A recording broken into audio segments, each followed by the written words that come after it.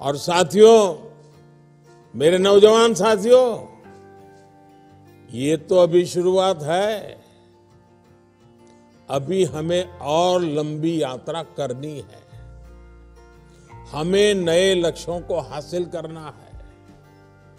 हमें कई नए रिकॉर्ड बनाने हैं। साथियों, स्पोर्ट्स एक स्किल है और एक स्वभाव भी है।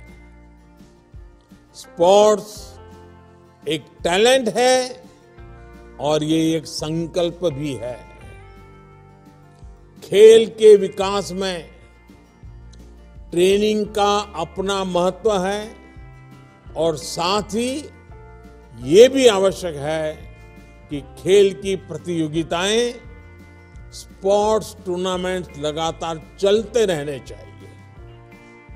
इससे खिलाड़ियों को अपनी ट्रेनिंग को लगातार टेस्ट करने का मौका मिलता है।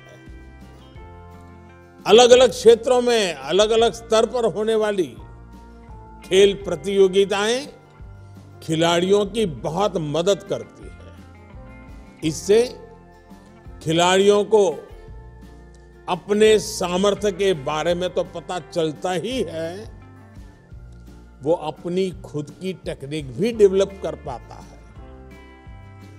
खिलाड़ियों के कोचेज को भी पता चलता है कि उसके शिष्य में जिसको उसने सिखाया है, अभी कौन सी कमियाँ रह गई है?